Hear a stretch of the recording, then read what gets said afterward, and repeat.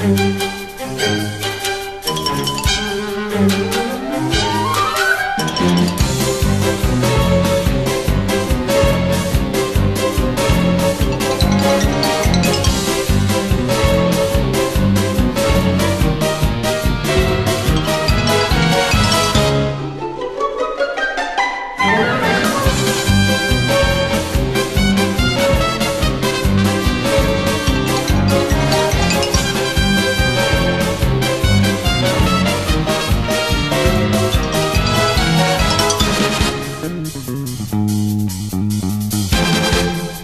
大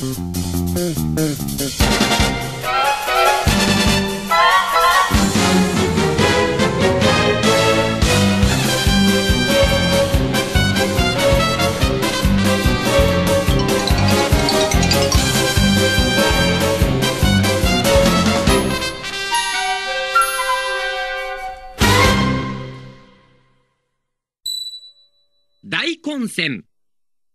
ちょっとコミカルな戦闘シーンで使われた曲。第1話、鬼スズメに追われたサトシが、初めてピカチュウと意見が合うシーンや、第25話、怒りざると目を合わせないようにしているピカチュウ。